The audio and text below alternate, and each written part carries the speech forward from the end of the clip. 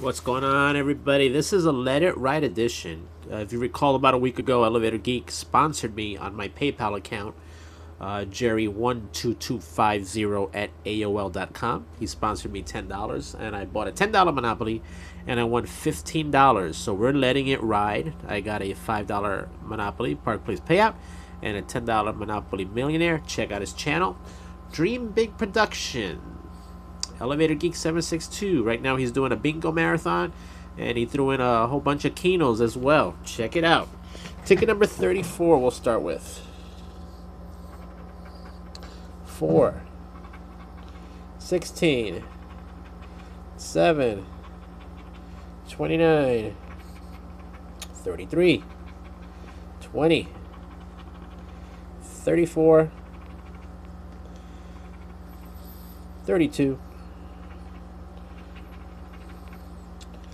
3 13 8 and a 6 winning numbers 25 nope. 27 nope. 12 nope. And a 19 nope. So the $5 one was a loser. $10 monopoly ticket number 30 start off with a 25 8 17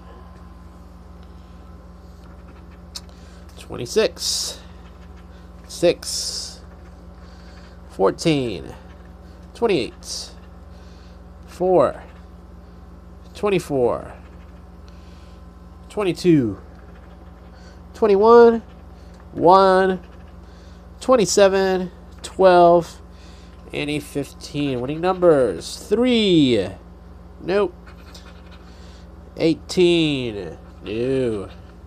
11 no. 4 we got it. We got the 4 2 nope. And I said what's behind the 4 look at that. Look at that. $30 win.